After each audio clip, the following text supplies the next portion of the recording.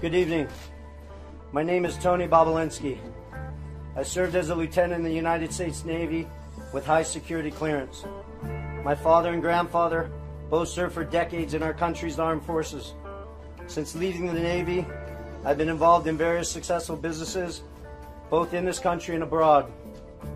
I'm making this statement to set the record straight about the involvement of the Biden family, Vice President Biden, his brother Jim Biden, and his son Hunter Biden in dealings with the Chinese.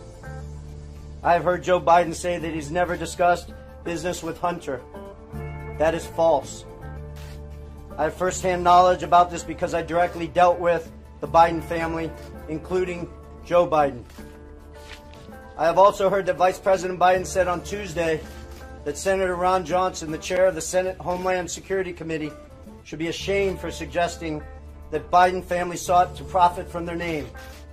Well, here are the facts I know, and everything I'm saying is corroborated by emails, WhatsApp chats, agreements, documents, and other evidence.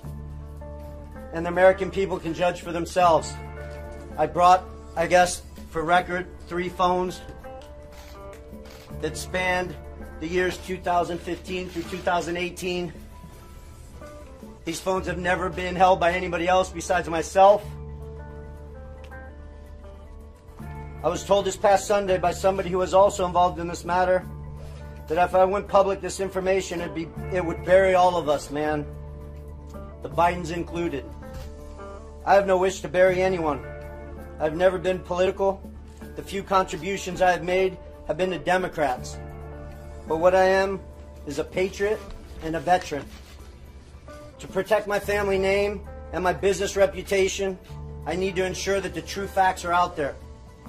In late 2015, I was approached by James Gilliar, whom I had known for many years, about joining him in a deal which he said would involve the Chinese state owned enterprise CEFC China Energy and what he called one of the most prominent families in the United States. I was informed first by Gilliar and then by Hunter Biden and by Rob Walker, who was working with the Bidens, that the Bidens wanted to form a new entity with CFC, which was to invest in infrastructure, real estate, and technology in the U.S. and around the world. And the entity would initially be capitalized with $10 million and then grow to billions of dollars of investment capital. After months of discussion, I agreed at Gilliar and Hunter Biden's request to become CEO of the entity to be called Sinohawk. Sino representing the Chinese side, Hawk representing Hunter Biden's brother Beau's favorite animal. And between February and May 2017, we exchanged numerous emails, documents, and WhatsApp messages concerning Sinohawk and its potential business.